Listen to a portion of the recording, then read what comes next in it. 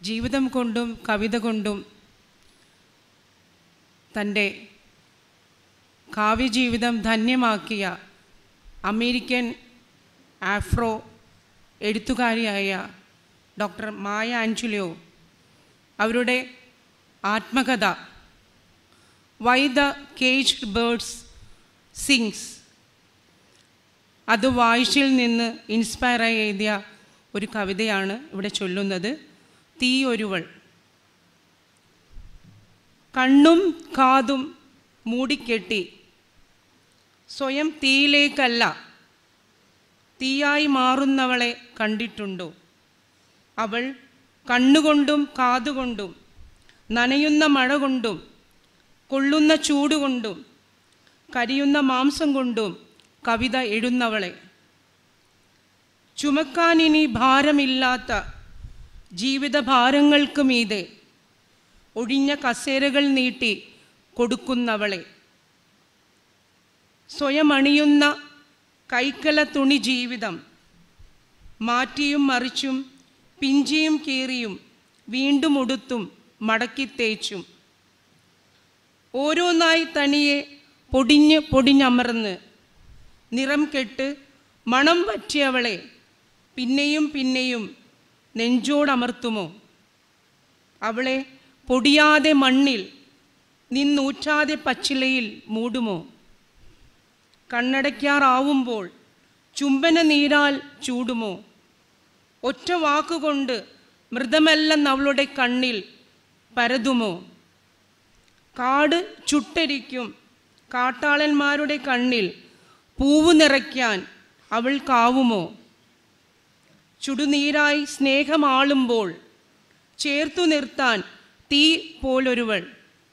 അവൾ അവൾക്കായി മാത്രം ശില്പമാകുമോ?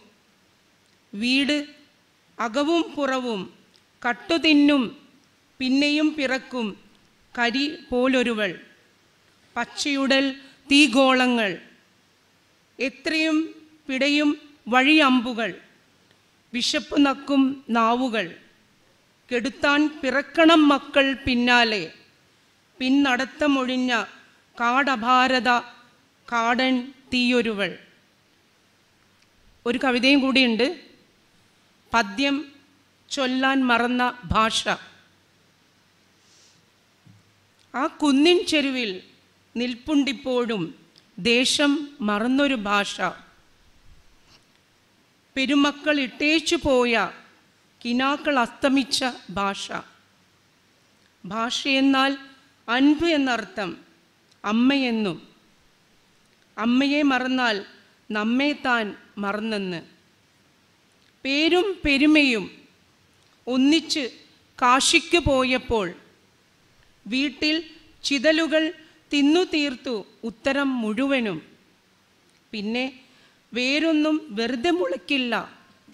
നട്ടു നനയ്ക്കാൻ രക്തക്കറ നനയാത്ത കൈകളെ തേടി ഒരു പുലരി വരും വരെ. ആ കുന്നിൻ ചെരുവിൽ ഇപ്പോഴും നിൽപ്പുണ്ട് ഒറ്റയ്ക്കൊരു ഭാഷ. തിരിച്ചറിയാനാകാത്ത പഴമ മണക്കുന്ന ഭാഷ. ഇറ്റിറ്റു വീഴുന്ന നെഞ്ചകം പേറും ഭാഷ. കറുത്ത ഗോത്രങ്ങളുടെ വെളുത്ത ശിരസുകളുടെ മറ്റനേകം വിലാപങ്ങളുടെ നെഞ്ചിടിപ്പുള്ള ഭാഷ. ഈ മഴയൊന്ന് പെയ്തു തോരട്ടെ. കിണറ്റിൽ മുക്കിയെടുത്ത തണുത്ത വെള്ളം കൊണ്ട് കുളിപ്പിച്ചെടുത്ത് പദ്യങ്ങൾ പഠിപ്പിക്കുന്നുണ്ട്. പകൽ കൊത്തിയെടുത്ത സൂര്യൻ ആറ്റിലേക്കെടുത്ത് ചൂടും മുന്നേ. നന്ദി നമസ്കാരം.